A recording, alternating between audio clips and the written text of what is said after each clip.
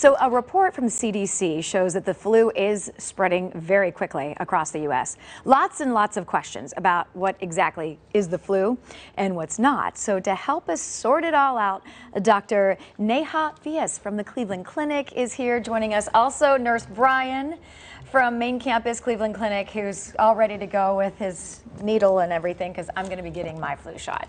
It's great to have you back. We haven't seen you since before the pandemic. Thank you so much. It's great to be back. Good to see you. So let's talk about the flu and talk about the symptoms. So many times people say, I have the flu, but it's not really the flu. Yes. So what are the flu symptoms, especially now, it can be confusing with COVID? Yes, it sure can be. And uh, the most important thing to look out for is a fever, hmm. chills, body aches, headaches. Those are some of the most common symptoms of the flu. Sometimes you can get even a dry cough that doesn't seem to want to go away. So you can get tested for the flu and see if you have it? Yes, you can.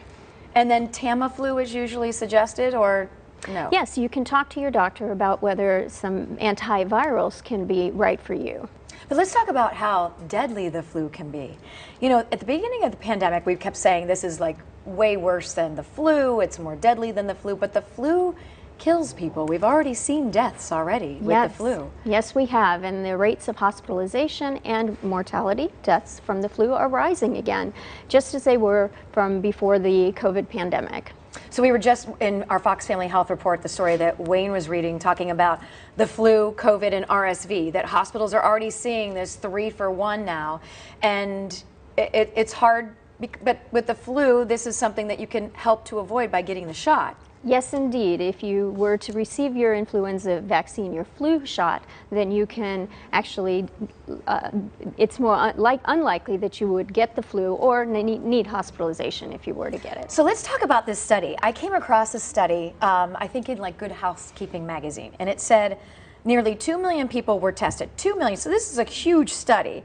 At just 65 and up, it showed that people who had at least one flu shot in four years were 40% less likely to develop Alzheimer's disease. That's fascinating. Yes, it was a look back study uh, looking at insurance claims of over 2 million people. This is based out of Houston, and it did show that those who received the flu vaccine were less likely to have developed Alzheimer's dementia later on.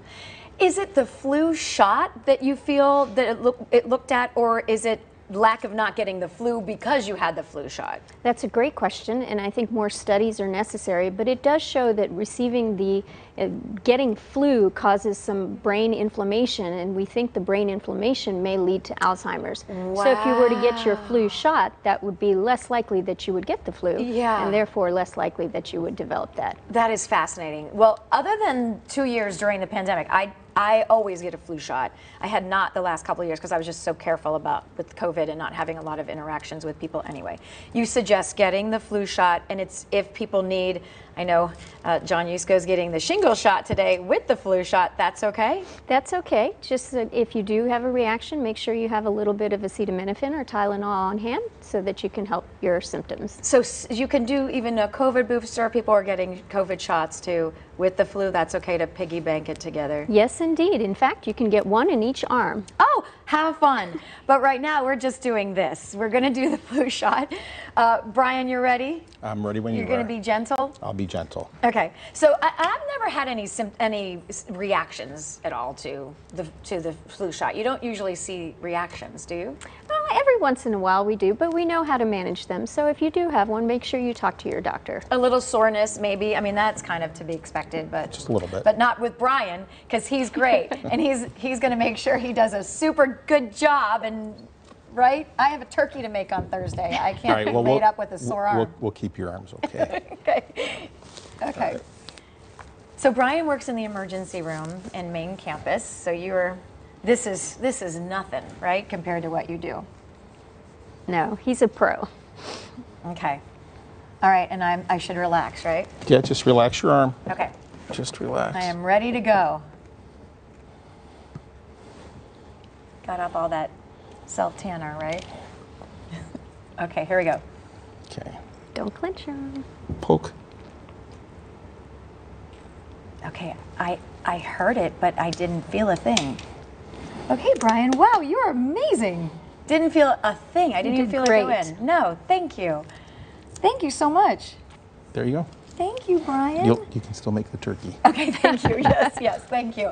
All right, so you highly suggest these with kids ages, how old they should start? Is it still six months, the recommendation? Six months, yes, indeed. And if for children who have never received the flu vaccine before, there's we recommend a two-shot series before the age of nine. And do they still do the nasal shots, or is that not happening this year?